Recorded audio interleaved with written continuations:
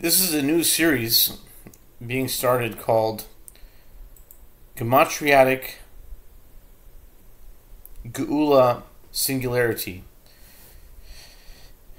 And it's being started on uh, in Hebrew in Hebrew understanding and the Hebrew understanding the first day of the week is Sunday is the first day of the week and it's the 24th day of Sivan in the year 5784, and it's the 30th day of June of 2024.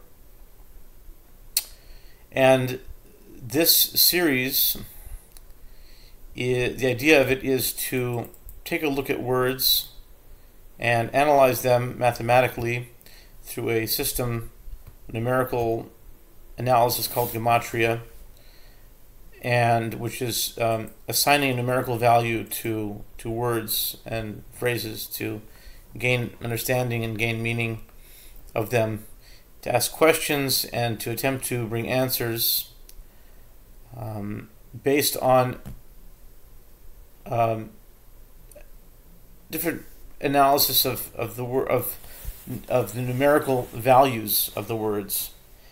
Um, the first this first session um, we'll focus on a question that I've had for a, a, very long time, and it has to do with pronunciation. Um, in Hebrew, there's this traditional or conventional uh, Hebrew Israeli pronunciation where the last letter of the Aleph Bet uh, is Taf and has a t uh, a T sound. And if there's no dot in it, it doesn't matter. It's still a T sound. Um, for example, um, the word for commandment would be mitzvot.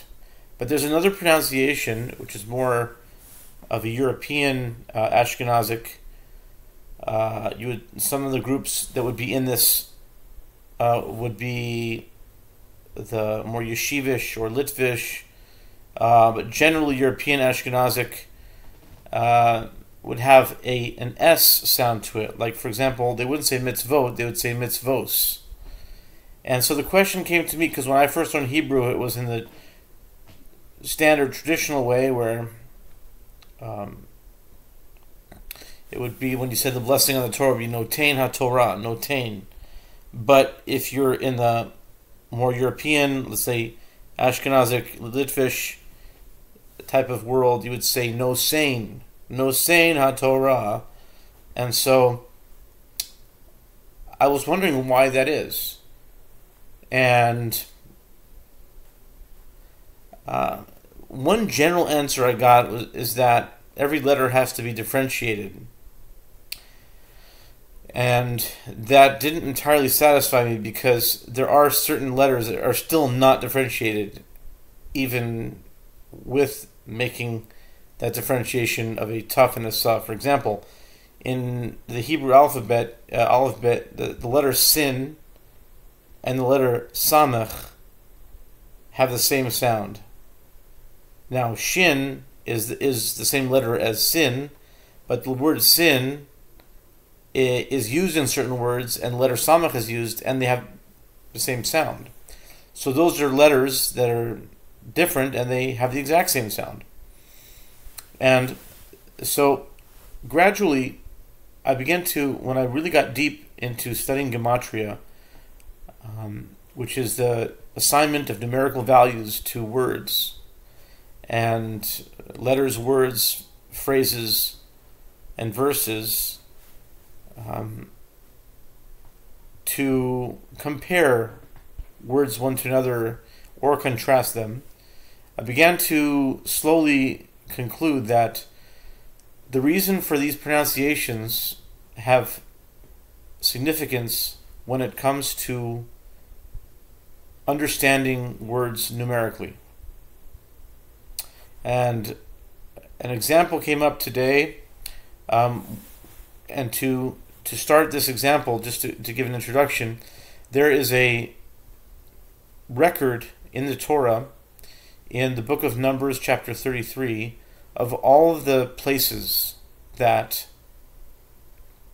the Israelites went after they left Egypt, before they entered the Promised Land, before they entered the land of Canaan, or now known as Israel, um, they went through a series of 42 journeys. And um, it was a study of mine to count them, which one was first, second, etc. And um, there's the commentators uh, give different lengths of time which uh, the Israelites stayed at each location, and and so I went through each one on, on a systematic basis. Every day I'd go through one journey, and um, someone uh, I don't know the name of the author, but he made a book that paralleled the 42 words as a prayer called Ana B'Koach, uh, which is a Kabbalistic prayer that's said in, in many occasions, and it uh, has 42 words, just as there are 42 journeys. And someone in this book, they paralleled, uh, for instance, the first journey, let's say the first location was Ramses, Ramses, and then that would be Ana and then Sukkos or Sukkot, and then Bekoach, and, and so forth. And so I was studying in that way for a while, and this 19th journey is a place called, according to this, the order of this, the way they put it, and I think that's the order of the Book of Numbers, but I'm not exactly sure. But according to the, to the count that I saw in this book, um, the 19th location the 19th journey is a place called Kehelata or Kehelasa, and this exact word um, is the word of today, and this word, uh, in, in my own counting, it, it came out to be today, and this word brings up this very question because if you were in the Sephardic or Israeli pronunciation, you would say Kehelata. But if you were Ashkenazic, like Yeshivish, like European, a Litvish kind of pronunciation, you would say Kehela Sa. So I still was wondering, like, why, like, what, why? These are two different sounds. And so this conclusion that I came to, um, it makes a difference when it comes to numerical and mathematical analysis through sound and through comparative comparative languages. Here's the example. Kehela Sa, or Kehela Ta, has a regular Hebrew numerical value of 540. If Kuf is 100, Hey is 5, Lamed is 30, Taf is 400, and Hey is 5, it's four, that's 540. And you can say it Kehela Ta or Kehela Sa. But going to the idea that Hebrew is the basis of many languages. I had that idea, and someone actually mentioned to me mentioned it to me recently, and I thought about it, and I said, "Where? What kind of English words could you find in Hebrew words?" And I do that quite often. I look at words like, for example, peyrot. The Hebrew word peyrot is very close to the English word fruit. It's almost the exact same word. Just phonetically, it's a little bit different, but the same consonants, the same and, and so that's one example.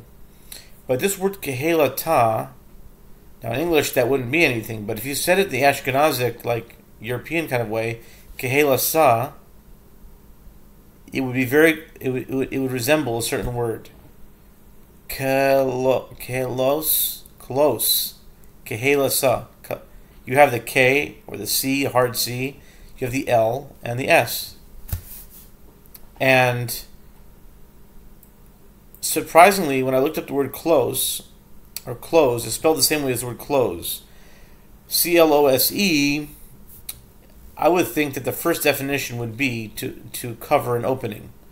Close would be the main word, and that's where we got close from, because if something is there's an enclosure and it's and it's closed, then there's a narrow there's not a lot of things that can get in.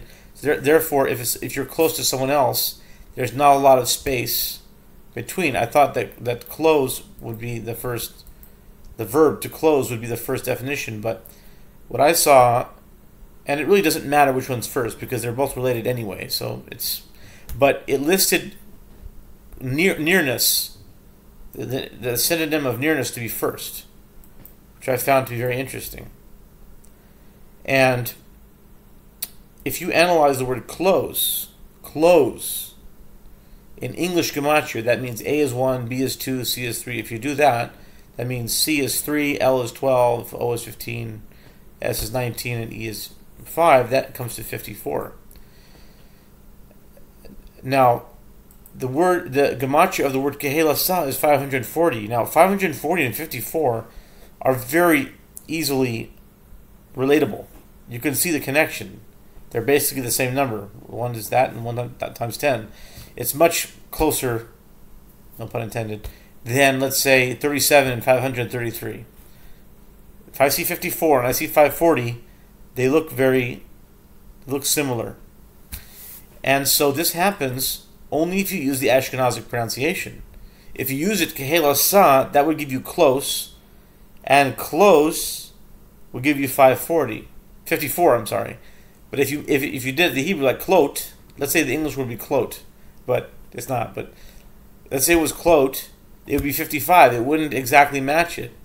So we see from this that there is a, a very important, meaningful reason for the Ashkenazic European way that they say like no Sena Torah, no Sena mitzvos, matzos, shem mitzvos matzah. You know, it's, it's like there's the um, I've heard that the uh, you know the, the Sephardic Israelis say that they're mispronouncing it, but it, according to an understanding and analysis of of language, there actually is a, a an important purpose for it, and this uh, would be the first session of the the gematriatic geulah singularity or the gematriatic redemption singularity, analyzing numbers gematriatically with the purpose of revealing the redemption.